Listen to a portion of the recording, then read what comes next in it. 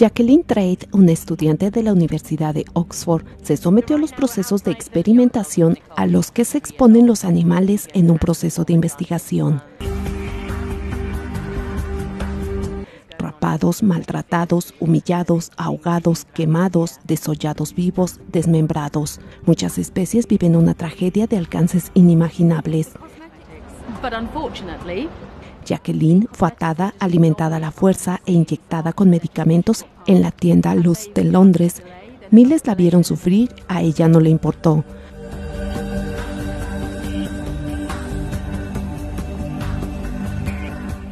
Se trató de un performance que duró 10 horas y forma parte de la campaña por Lush Cosmetics y The Human Society. Se estima que entre 50 y 100 millones de animales son torturados cada año en laboratorios para experimentación. La mayoría son sacrificados una vez terminadas las pruebas.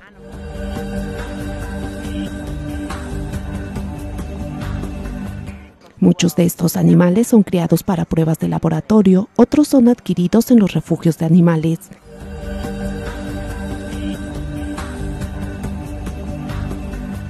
El Universal Televisión